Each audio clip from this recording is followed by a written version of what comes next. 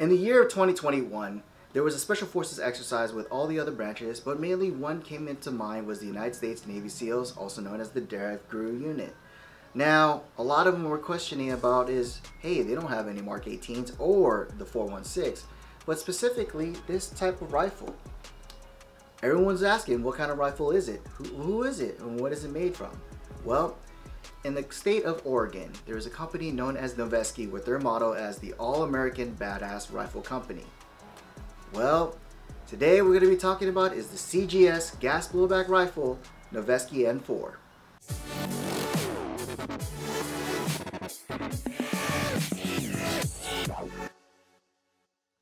Hey, what's up guys and welcome back to another episode of Airsoft Master and today we're going to be talking about is the EMG Noveske N4 gas blowback rifle by the CGS system.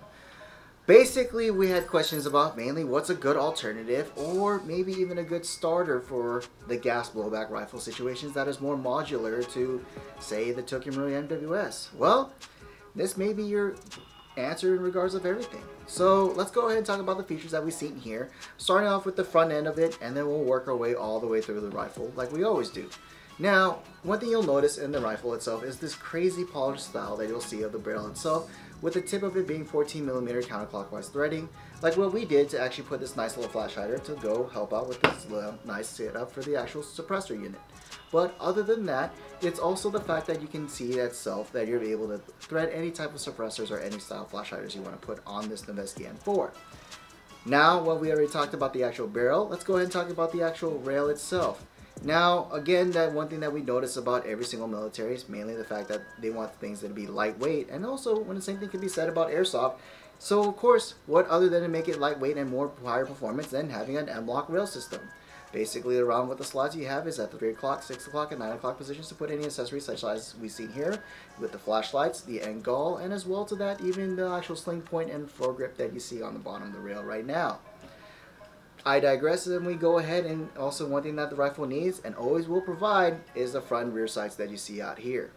And as well to that, the rail on top on the 12 o'clock will always be the 20 millimeter Picatinny rail and monolithic to help give that nice real estate to help put any more accessories such as the optics you'll see here and even the backup sights that's already provided. Now that we've basically talked about the rail itself, let's go ahead and talk about the actual receiver head.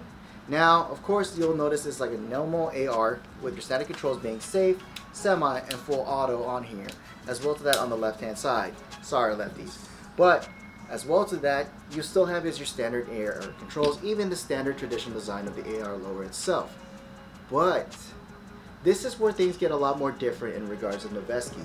If you notice the different styles that go alongside with the rail is it's more of a more tankier and more wider setup on here.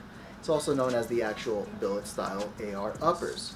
Now, I do like this is because the fact that again, it does make it more in a beefier setup tone and as well to that more durability and to the fact that it's more modular and more modern. And that's something that we kind of do need since this is the AR has been what used since Vietnam era. So I guess it's time for a new change and change is good. Now, in regards of the licensed trade, of course, Noveske doesn't want to prove you like or miss out or any lacking of it, of the actual insignia trades all throughout. When you see Noveske all the way on from the lower end of the receiver, all the way up to the rail itself, even the fact that you have it on the actual forward assist.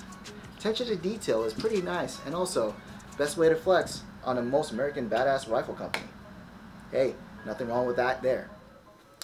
Now, while we flip it to the other side, now we get more into the interesting parts of it as well as we see uh, mainly the one thing that comes in important for my rifle and especially for Milsim guys is the attention to detail and also to make it more kosher the build is the fact that you have the 300 blackout dust cover.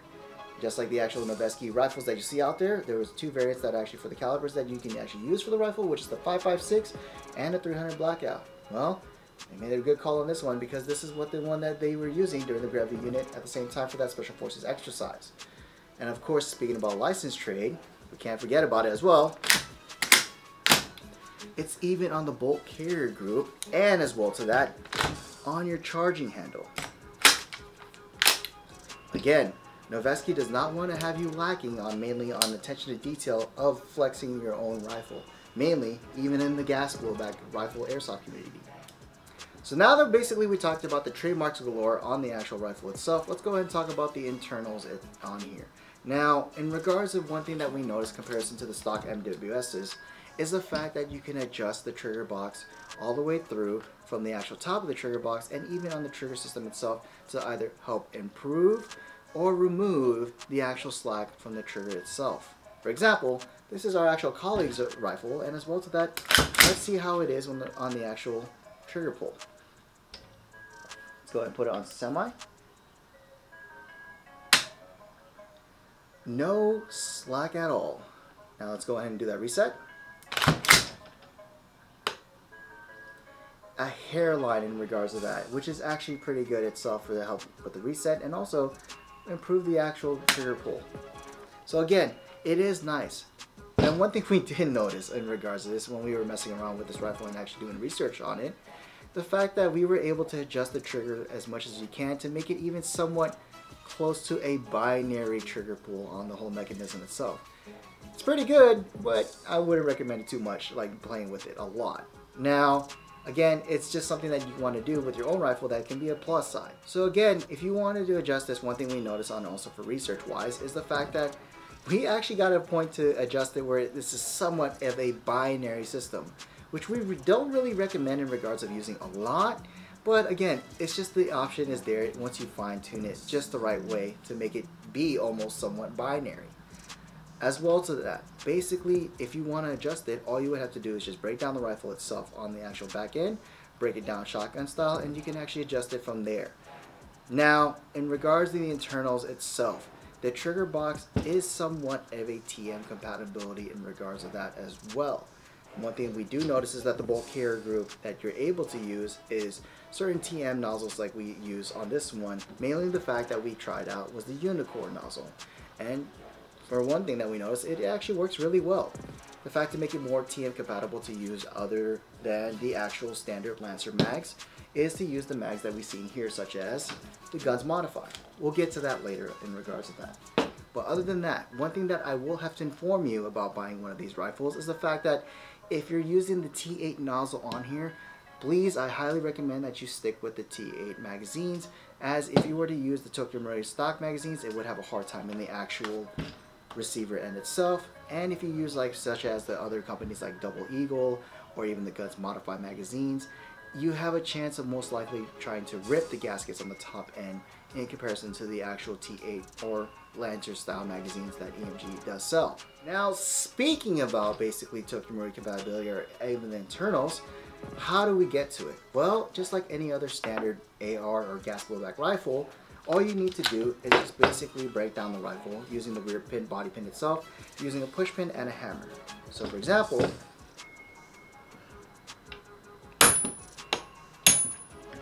once we do that, we break it down. This will basically break open the upper to, again, what's known as the shotgun style, and you'll be able to actually adjust, so for example, like I stated, the actual trigger pull on the actual trigger box itself, or do proper maintenance such as the actual bolt carrier group and your charging handle. Now, as stated as before, is the one thing that is regards to compatibility wise that I would recommend is always changing out your actual nozzle return spring in regards to using green gas. But the fact that with the T8 system itself, that's already been done, so that's one thing that's already a positive. As well to that, now for the magazine compatibility itself, the main priority is basically the nozzle here, which we changed out for the actual unicorn nozzle for the actual MWS system and it works and fixes everything flawlessly to help basically feed the magazines for Guns Modify or any other TM style magazines. But again, if you do not change that, you'll most likely cause issues in the gaskets itself trying to use it with using the T8 systems. If you're using a T8 nozzle, you use T8 magazines If you're using the TM nozzle, just go back to the TM magazines. Now basically here we are on the video to find is where's the hop up? Well in regards to that all you would need to do to get there is lock back the actual carrier group itself. And once you see underneath is the actual hop up right inside the mag well. So what I would recommend in regards of doing this is basically having a long flathead itself to help adjust your actual Hoppo tool.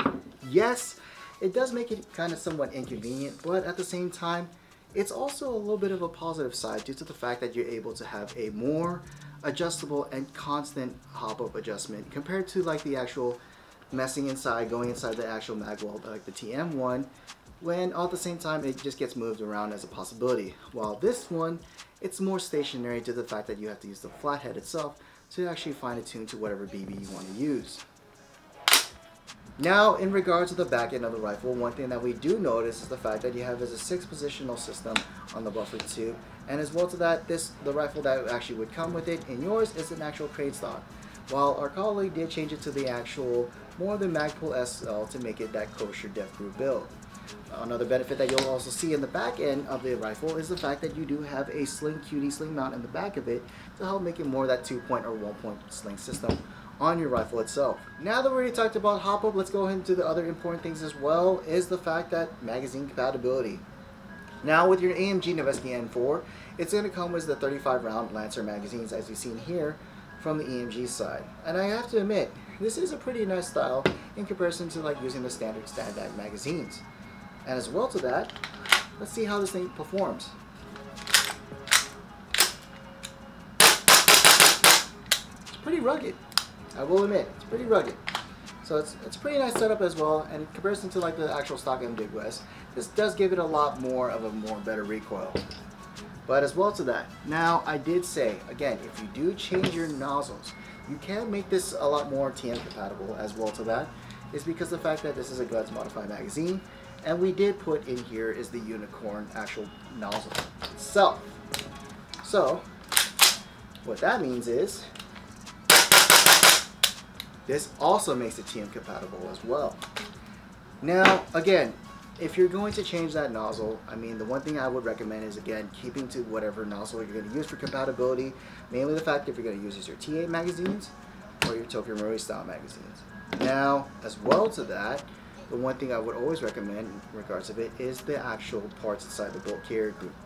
Two parts of it that's going to basically be removed to actually install your nozzle, if you're going to do the unicorn way, is the fact that there's a little hammer assist in regards to that that threads onto the actual T8 system. And as well to that, the fact that the nozzle set from the Unicorn doesn't use that little top end of return nozzle that you'll see on the top end of the actual charging handle itself or below it.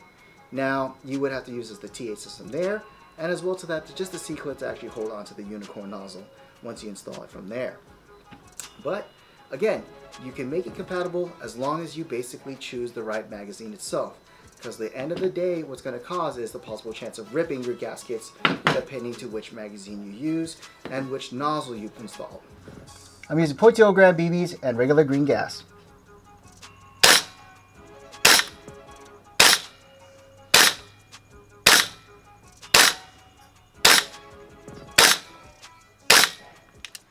We chrono the rifle, one thing we noticed with regular green gas and 0.20 gram BBs is we're shooting on average around the 340 to 380 FPS. And this one basically ballparking around the 360 to 370. Now, this is actually a pretty good setup for mainly being an outdoor rifle. And as well to that, the fact that you are able to have the full fulfillment of basically doing the full outdoors compared to the actual Tokyo Marui MWS that shoots around 350 and below. So again, Another plus side if you want to play that outdoor field such as SC Village or any other outdoor field that we have nearby.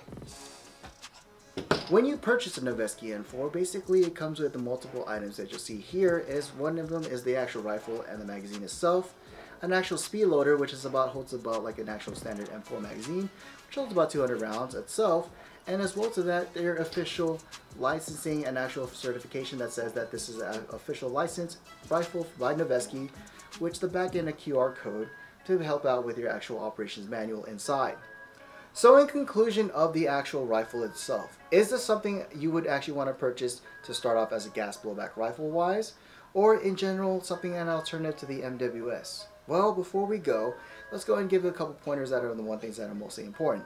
Starting off with is, it's TM compatible with certain parts, like for example, such as the nozzle itself, and as well to that the adjustable trigger which is again a benefit that you'll see then other than stock where that's not able to be possible and as well to that the rifle itself I mean it's a good looking rifle and preferably, I'm not really into as much tan. But for this kind of rifle, I kind of would give it an exception. Now, let's get to the price. Now, in comparison to a Tokyo Marui MWS soft mod or even the CQBRs, going around the $620, this rifle is at the $500 market range during the time of this recording. Now, it doesn't seem that much, as yes, this is an expensive gas blowback rifle, but the fact that you can save $120, which can help you get maybe such as an upgraded inner barrel or other parts, again, it's a positive end on this route. But I digress on this situation. What do you guys think about the Action Noveske N4 rifle? Or if you have a Tokyo Marui MWS, how do you guys feel about the T8 systems itself? Drop a comment below, and also if you're looking for products like these, like in airsoftmaster.com, just check us out on the website. But for now, my name is Mike. I'll see you guys on the next episode. This video is brought to you by Airsoft Master.